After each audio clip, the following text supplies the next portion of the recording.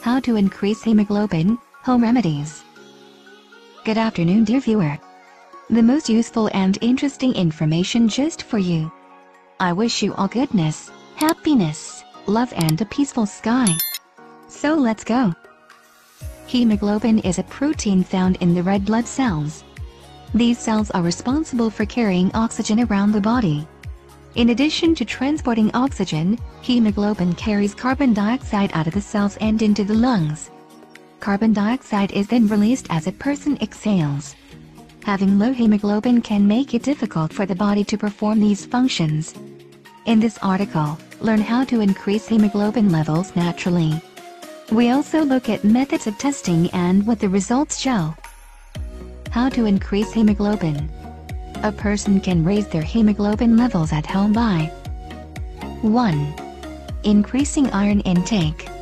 A person with reduced levels of hemoglobin may benefit from eating more iron-rich foods. Iron works to boost the production of hemoglobin, which also helps to form more red blood cells.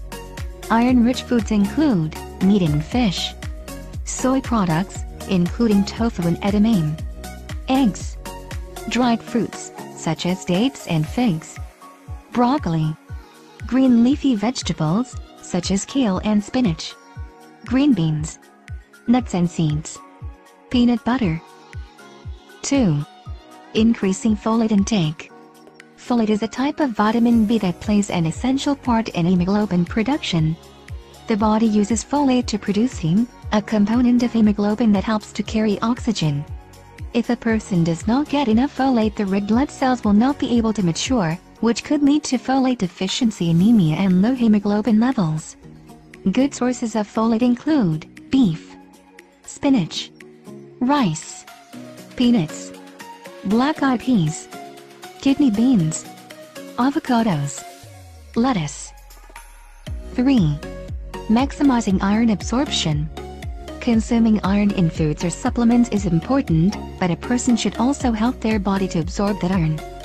Foods rich in vitamin C, such as citrus fruits, strawberries, and leafy green vegetables, can boost the amount of iron absorbed. Taking a vitamin C supplement may also help. Vitamin A and beta-carotene can aid the body in absorbing and using iron. Foods rich in vitamin A include fish, liver, squash, sweet potatoes, kale and collards. Foods high in beta-carotene include yellow, red, and orange fruits and vegetables, such as carrots, sweet potatoes, squash, cantaloupes, mangoes. While vitamin A supplements can help the body to process iron, the vitamin is dangerous if too much is consumed. Excess vitamin A may lead to a condition known as hypervitaminosis A. This can cause symptoms such as bone and joint pain, severe headaches, and increased pressure within the brain. 4. Taking iron supplements. A doctor may advise a person with extremely low levels of hemoglobin to take iron supplements. The dosage will depend on a person's levels. It is important to note that too much iron can be dangerous. It may cause hemochromatosis, which can lead to liver disease and side effects such as constipation, nausea, and vomiting. Supplements will cause levels of iron to increase gradually over a few weeks. A doctor may recommend taking the supplements for several months to increase the body's iron stores. Normal ranges. A doctor will check for low hemoglobin with a blood test. Low hemoglobin is diagnosed when a man has less than 13.5 grams per deciliter, gram per deciliter, of hemoglobin in the blood, or when a woman has less than 12 grams per deciliter. A person may have a low hemoglobin level for a variety of reasons, including iron deficiency anemia pregnancy problems with the liver or kidneys chronic disease it is possible to have naturally reduced hemoglobin levels without an underlying cause. Some may even have low hemoglobin and experience no symptoms or indications. With the doctor's guidance, a person can boost their levels of hemoglobin to fall within a normal range. Normal ranges are 13.5 to 17.5 grams per deciliter for men 12 to 15.5 grams per deciliter for women appropriate hemoglobin levels for children vary depending on age. Anyone concerned about a child's hemoglobin levels should speak with a doctor. People with very low hemoglobin levels may need additional treatment if taking supplements and changing the diet do not show sufficient results. Symptoms Symptoms of extremely low levels of hemoglobin include a fast or irregular heartbeat, pale skin and gums, fatigue, muscle weakness, frequent or unexplained bruising, reoccurring headaches.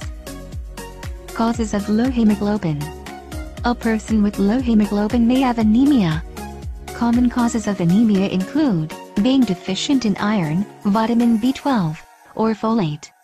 Substantial blood loss. Cancers that affect the bone marrow, such as leukemia. Kidney disease.